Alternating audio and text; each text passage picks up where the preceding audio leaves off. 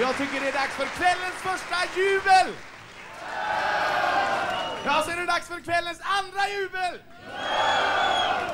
Tänker man kan få folk att göra precis vad som helst, det är inte klokt. Vi ska ta och börja lugnt och försiktigt. Leif där borta ska sjunga en eh, riktig gammal klassiker.